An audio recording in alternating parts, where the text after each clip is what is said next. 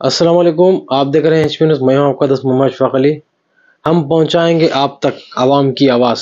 हर बार होगी एक नई खबर, क्योंकि हम रखते हैं हर न्यूज़ पर नज़र। आइए देखते हैं आज की कुछ खास खबर। वालेकुम नाजरीन, एचपी न्यूज़ चैनल में आप सबका इस्तकबाल है।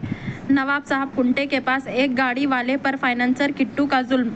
तीन बजे से लगातार इफ्तार के वक्त तक एक बाइक वाले को रोककर उसे ज़बरदस्ती बाइक छीन कर ले गए, जबकि वो शख्स रोज़े की हालत में था और इनको किसी का भी डर नहीं, जबकि आप लोग जानते हैं कि कई लोग इन जैसे फाइनेंसर की तरफ़ से अपनी जान दे रहे हैं। पुलिस को चाहिए कि इन जैसों पर कार्रवाई करे, सख्त से सख्त एक्शन ले। इसी तरह की मजीद खबरों को देखने के लिए हमारे चैनल एच न्यूज़ को यूट्यूब पर सब्सक्राइब करें फेसबुक इंस्टाग्राम पर फॉलो करना ना भूलें।